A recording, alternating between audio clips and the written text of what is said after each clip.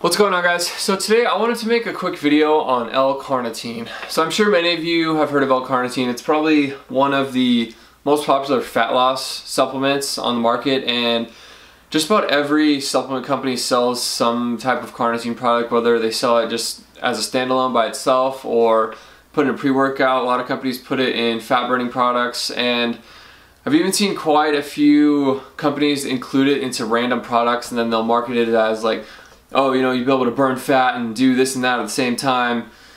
But uh, I wouldn't buy into that. now, L-carnitine is an amino acid that's found naturally in your body and it plays basically an irreplaceable role in fat metabolism.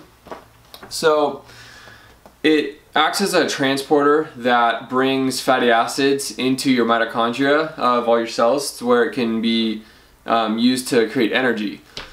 Now, it's actually like a limiting factor in the energy production process as far as fat goes because if you don't have uh, enough L-carnitine, your body's not going to be able to bring fats into the mitochondria of your cells to create energy. Now, given this knowledge, the theory behind L-carnitine is basically that if you take L-carnitine, your body's going to burn more, or use more fats to make energy, ultimately leading for fat loss. Now, that seems like a pretty logical theory, right? It makes sense. But when you look at the research, it really doesn't, it really hasn't demonstrated that. I mean, the research really sucks.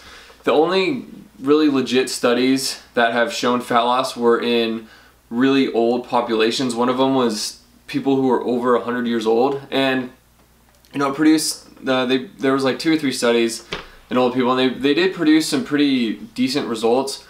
But as far as the research for more normal, like average populations, it's really just not there. There's not any conclusive evidence showing that carnitine is effective for fat loss. So, that being said, um, I really don't think it's worth it. I think it's a waste of money, honestly.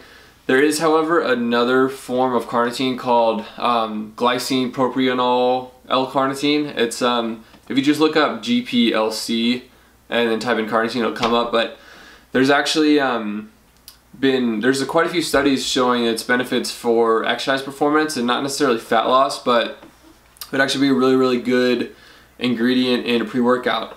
So L-carnitine, I wouldn't waste money on it, but GPLC, the other form of carnitine, um, definitely would be beneficial. I'll probably do a video on that, um, going over some of the research in the future.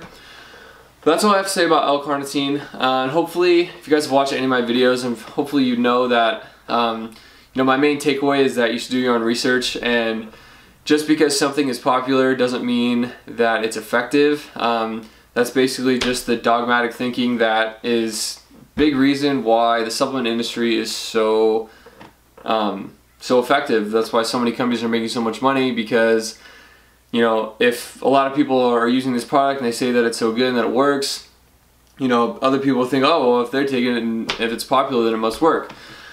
But as you guys now know, that isn't the case because L-carnitine is extremely popular, yet none of the research shows that it's actually effective for what most companies claim it to do. So that's all I have for this video. Um, as always, please like and subscribe. And if you guys have any questions, feel free to let me know. And thank you for watching.